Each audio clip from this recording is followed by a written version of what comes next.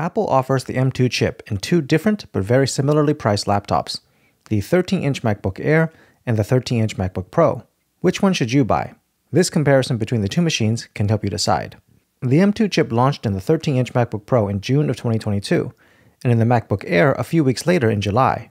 As it's been almost a year, there are rumors that we could see an update for either machine to the M3 chip pretty soon, which you may want to wait for if you can. If you need to buy before that happens, then these two computers are the latest non-pro level Apple Silicon laptops currently available. The MacBook Air saw a huge redesign compared to the M1 version, while the 13-inch MacBook Pro kept the same design as the M1 version. The M2 Air takes design inspiration from the 14 and 16-inch MacBook Pros with the flatter shape and also the screen with a notch. The Air has four color options, while the Pro only has two. Both are available in space gray and silver, while the Air also has midnight and starlight as choices. When it comes to size, the Air's height is 28% thinner than the Pro's, while the width is the same and the depth is just a tenth of an inch longer, so the footprint is nearly identical. For the weight, the Air is about 10% lighter at 2.7 pounds versus 3 pounds. When it comes to ports, the M2 MacBook Air has an advantage. Both the Air and the Pro have two Thunderbolt 3 USB 4 ports, along with a 3.5mm headphone jack with advanced support for high impedance headphones. However, the MacBook Air also features a dedicated MagSafe 3 charging port, which frees up one of the two Thunderbolt ports for other peripherals while plugged in, which can be a big deal. The M2 Air screen is 13.6 inches with a resolution of 2560 by 1664, while the 13 inch Pro screen is slightly smaller at 13.3 inches with a resolution of 2560 by 1600. The extra 64 vertical pixels on the Air is used for the notch, so they are both effectively 16 by 10 aspect ratio screens. However, the Air screen has slightly better color reproduction, claiming 1 billion colors versus the Pro's measly millions of colors. Both the M2 Air and Pro computers support only one external display with up to 6K resolution at 60Hz over the Thunderbolt port. If you need more, you'll have to upgrade to a Pro level or higher chip. There is another screen on the 13 inch MacBook Pro's keyboard, the infamous Touch Bar, that Apple has decided to no longer continue on its other laptops. The physical function keys on the Air are full height, including the larger Touch ID button. For the speakers, the MacBook Air's redesign comes with a 4 speaker sound system and 3 mic array for input. The Pro only has 2 speakers, though it claims high dynamic range, and the 3 mic array is supposed to be studio quality. Both have spatial audio support. All said, the speaker sound quality may not be much different between the two machines, while the mics on the Pro may be slightly better. One area the MacBook Air has a clear advantage is the webcam, which is 1080p. The MacBook Pro's webcam is only 720p. When it comes to wireless, both the Air and the Pro are identical in supporting Wi Fi 6 and Bluetooth 5.0. Now let's talk about the heart of the machine, the M2 chip. Unsurprisingly, both the M2 MacBook Air and 13 inch MacBook Pro use the same M2 chip.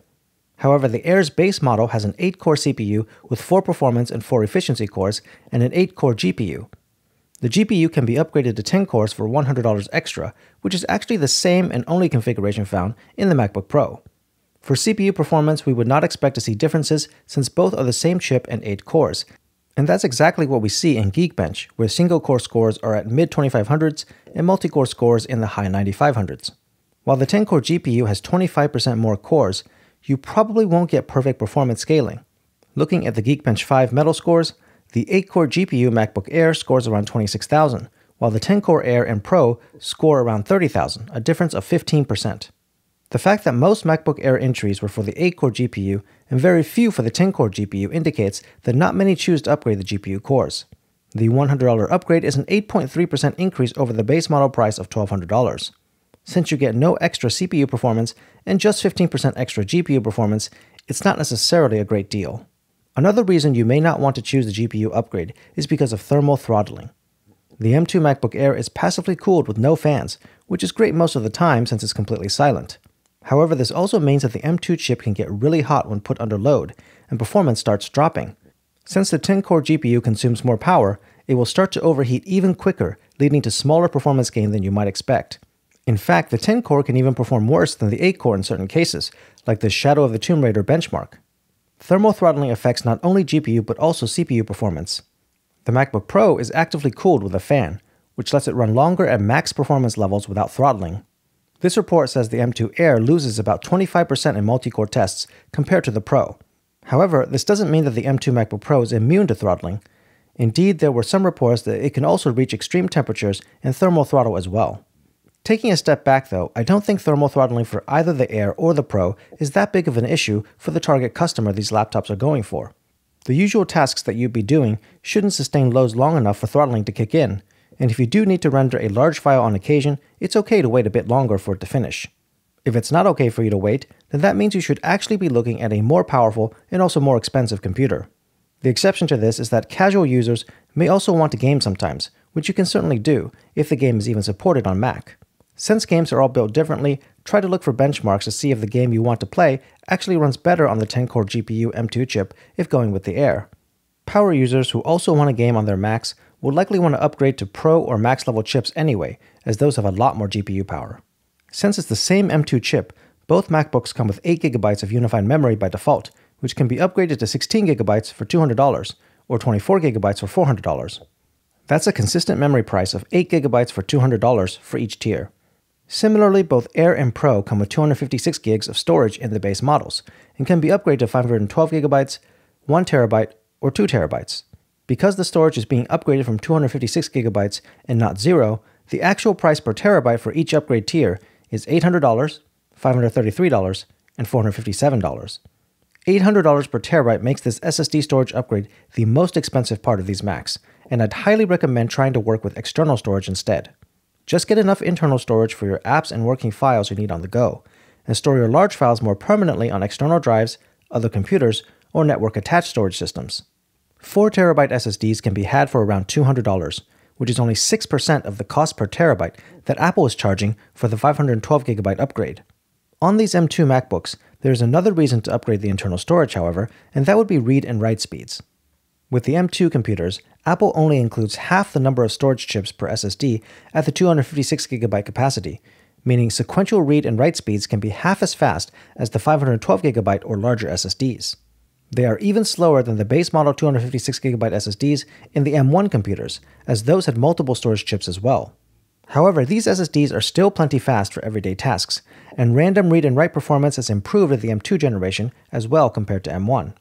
Unless you have a disk intensive workload, in which case you might not want to pick up a non Pro M2 computer anyway, I wouldn't place too much importance on SSD speed differences when deciding whether to upgrade the storage, but rather on how much internal storage capacity is needed.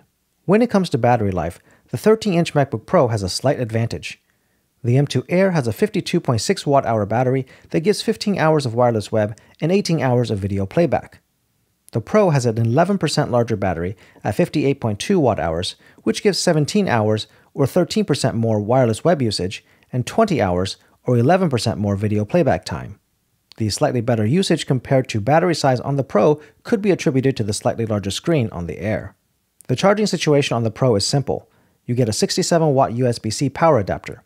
However, on the Air, the base model with 8 core GPU actually comes with a 30 watt adapter, but you can upgrade to a 35 watt dual USB C compact power adapter or a 67 watt adapter, both for $20. Alternatively, you get the adapter upgrade of your choice included for free if you upgrade to a 10 core GPU for $100 and to 512 gigs of storage for $200 or higher. Interestingly, the 67 watt adapter allows the M2 Air to fast charge, going from 0 to 50% charge in around 30 minutes, but this is not advertised as a feature for the MacBook Pro. Now let's talk about pricing. The base model M2 MacBook Air starts at 1199 US dollars, while the 13-inch M2 MacBook Pro starts at 1299. However, since the Air has the $100 chip upgrade option, including that to make the specs the same between the Air and Pro actually places both at the same price of 1299. That means both machines cost the same, so the one you buy should mainly be a consideration of feature differences. So who should buy the Air and who should buy the Pro? Everyone and no one, respectively. Well, okay, it's not actually that extreme. But for the primary buyer that these computers are targeting as the affordable, in Apple's lineup at least, basic everyday laptop, both machines will likely serve your needs from a performance standpoint. That means that the Air has several advantages over the Pro, including a slightly bigger and more colorful screen, being thinner and 10% lighter weight, has a better camera and possibly speakers, has full height function and Touch ID keys, a dedicated MagSafe charging connector that can double the number of usable Thunderbolt ports, and can cost $100 less with the 8 core GPU option. Yes, the Pro has some advantages as well, including better sustained performance due to active cooling, 11% more battery life, and maybe a slightly better mic. The touch bar has mostly been received negatively, so it doesn't really count. Of these advantages, performance and microphones really aren't that applicable for the target audience. Anyone who prioritizes performance or recording quality should get a more powerful machine and a dedicated microphone. That means the only really useful benefit of the 13 inch Pro is the extra battery life, but both the Air and Pro have really good battery life, so I don't see the extra bit coming in handy that often. In summary, for the majority of people who are considering these two machines, I think the M2 MacBook Air is the overall winner and the best one to go for. Those who should go for the 13 inch Pro likely have a very specific use case where a little bit of extra performance is needed and the budget is extremely tight, so getting a 14 inch MacBook Pro, even a used M1 Pro model, isn't feasible. So if the M2 MacBook Air seems like the clear winner for most people, you might wonder why Apple continues to offer the 13 inch M2 MacBook Pro model. Well, the 13 inch Pro reusing the same design as prior models means minimal additional effort and cost was needed to launch this product and it lets Apple use and start the MacBook Pro name at a lower price point, making a Pro machine more accessible, even if it really shouldn't be classified as one. There's also another marketing reason though. In my previous video comparing the M1 and M2 MacBook Airs, I talked about the compromise effect that causes us to gravitate toward choosing the middle option. Besides the M2 MacBook Air and 13 inch MacBook Pro, Apple still offers the M1 MacBook Air at the lowest end, making this a choice set of three options with the M2 MacBook Air in the middle. Another principle at work here, however, is the decoy effect, also known as attraction effect or asymmetric dominance effect. As our comparison showed, the 13 inch MacBook Pro doesn't really seem like a great value for most people. It does have some wins, but for most customers considering a laptop in this price range, the M2 MacBook Air can be considered to be dominating the 13 inch MacBook Pro. For both reasons mentioned, the 13 inch M2 MacBook Pro's existence actually helps push people to pay the extra 2 to $300 to upgrade to the M2 MacBook Air from the M1 MacBook Air. Now that you know, you can try to remind yourself to be rational and compare the product's capabilities with your real needs when deciding on a purchase to ensure you get the most value for your money.